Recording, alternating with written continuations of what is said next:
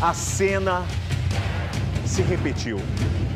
Criminosos invadem uma residência e arrombam um caixa eletrônico para levar uma quantia de mais de 100 mil reais. Caixa eletrônico dentro de um supermercado. Alô, meu povo de Cuiabá. Alô, meu povo de Várzea Grande. Alô, meu povo do Brasil. Há cerca de um mês atrás, eu mostrei criminosos utilizando bananas de dinamite para explodir caixas eletrônicos em Várzea Grande. Lembra disso, não lembra? Colocaram abaixo o teto de um supermercado. Vários imóveis ali na região ficaram destruídos. E agora a cena se repete. Só que eles utilizaram uma outra técnica. Desta vez, eles invadiram uma residência, fizeram um buraco no muro da casa para ter acesso ao supermercado. Foram a, até o interior do mercado, encontraram um caixa eletrônico, explodiram, arrombaram o caixa eletrônico e a suspeita é que os canalhas levaram mais de 100 mil reais.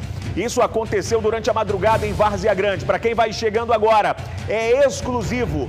Dá trabalho para fazer. O repórter Giovanni Júnior foi até lá, conversou com as pessoas, entrou na casa, fez o percurso que os criminosos fizeram é aquilo que eu digo, primeiro o olho vivo da cidade mostra, eles assistem aqui e depois pautam em cima das nossas pautas. É mais uma exclusiva, sem demora. Lobão, dispara com o Tigrão, dispara com o Ferraz na tela do povo, o canhão de audiência.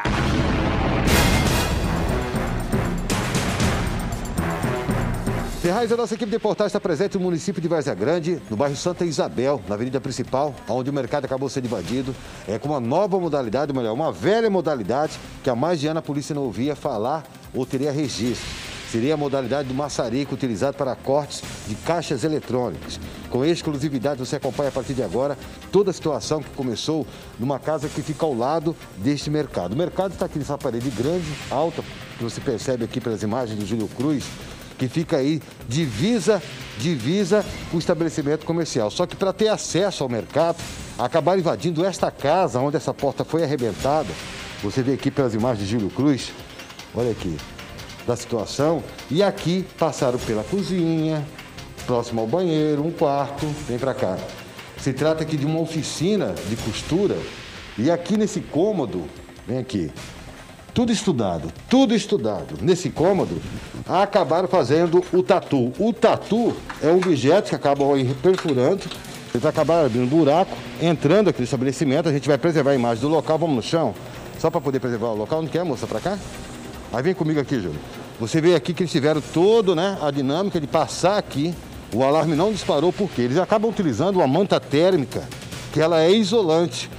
Isso aqui que é utilizado para poder esconder a fumaça e aquela luz, aquela chama. Que atenção, colocaram pacotinho de feijão para que a fumaça não pudesse sair e chamar a atenção das pessoas onde poderia ser um incêndio. Agora, olha aí, caixa eletrônico todo arrebentado, o sistema foi todo comprometido, levaram em média de 100 mil reais aproximadamente, é o que se estima quando o caixa desse eletrônico ele é carregado.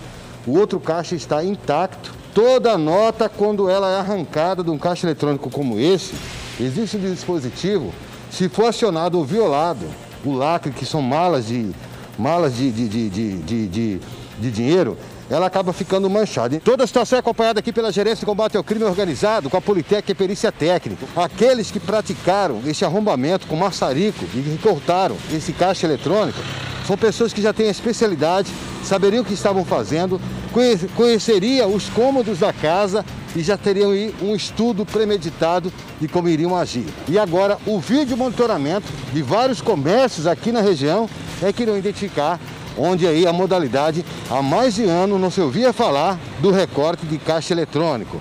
Com imagens Júlio Cruz, Giovanni Júnior. Aconteceu. Tá na tela. Olha, meu povo, parece história de filme, mas é a realidade nua e crua e a história se repete. Mês passado, criminosos utilizando dinamite e material explosivo colocaram abaixo o teto de um supermercado, comprometeram a estrutura de várias residências, isso ali em Várzea Grande. E agora a história se repete. Durante a madrugada, os criminosos vão a uma residência que fica parede com parede a um supermercado arrombam a parede do imóvel, entram no supermercado e foram direto ao caixa eletrônico. Utilizando o maçarico, eles estouram a blindagem do cofre e a suspeita é que esses bandidos levaram mais de 100 mil reais de uma vez só. Eu peço a atenção do povo de casa. Se você tem qualquer informação relacionada a isso, ajude a GCCO, a Polícia Judiciária Civil, que é quem investiga o caso. Assaltantes perigosos agindo.